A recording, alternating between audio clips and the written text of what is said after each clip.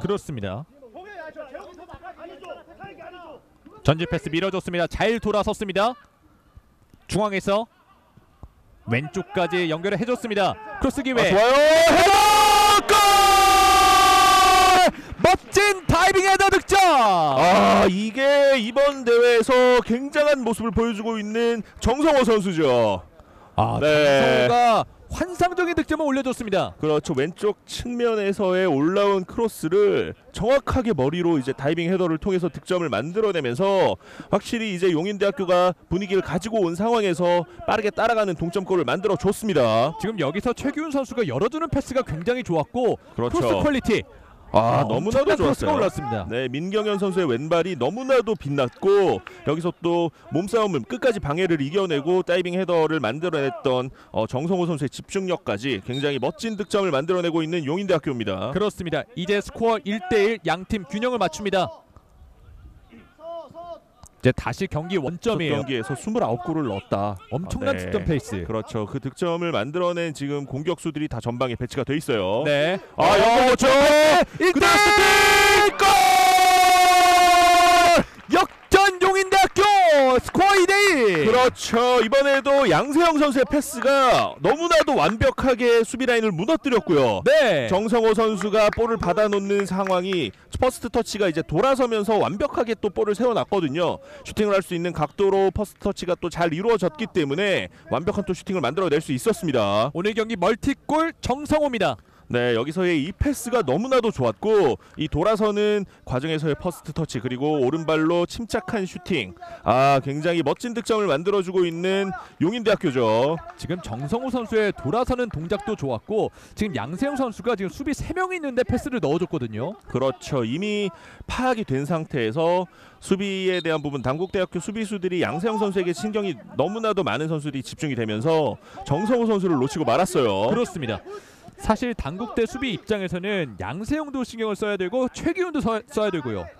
그렇죠. 거기다 최전방 정성호까지 써야 되다 보니까 그렇죠. 오프사이드 위치에서 내려오는 속도까지도 빨랐기 때문에 굉장히 또 애매한 위- 어, 조금 의아한 그런 오프사이드 네. 선언이 나왔죠. 어, 여기서 끊어냈습니다. 좋아요. 용인대학교 빠르게 올라갑니다. 민경현 왼쪽으로 빼줬습니다. 박성결 다시 한번 다시 민경현 발 맞았고 슛!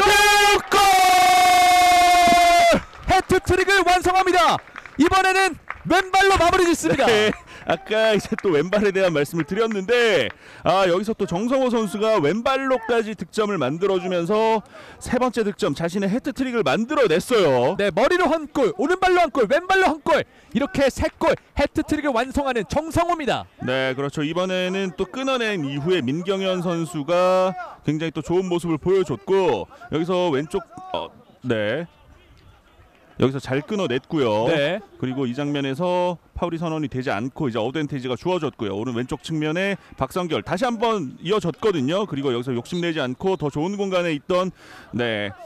정성호 선수에게 연결이 됐고 그이 슈팅 또 간결한 터치를 통해서 네 왼발로 마무리를 지었습니다. 네, 지금은 민경현 선수가 완벽한 기회를 만들어줬고 정성호 선수가 오른발로 잡아놓고 왼발 마무리 놓치지 않습니다. 그렇죠. 이렇게 또 간결한 터치를 또 보여주고 있는 정성호 선수 두 번째 득점 때에서의 이제 퍼스트 터치도 굉장히 좋았잖아요. 네. 네 이런 부분들을 봤을 때 뭐 정성호 선수 어, 굉장히 또 좋은 공격수로 대성할 수 있지 않을까 하는 생각이 되네요.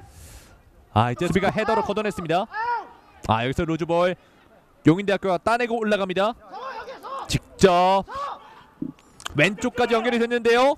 정성호 정성호 스텝오버 이후에 정성호 왼발! 그대로!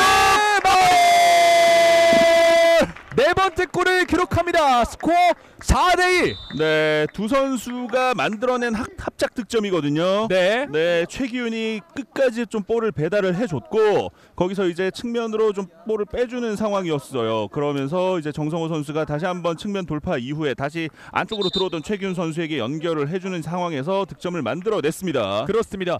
오늘 정성호 선수는 3골 1도움입니다. 그렇죠. 굉장히 또 좋은 모습을 보여주고 있, 있는 또 정성호 선수.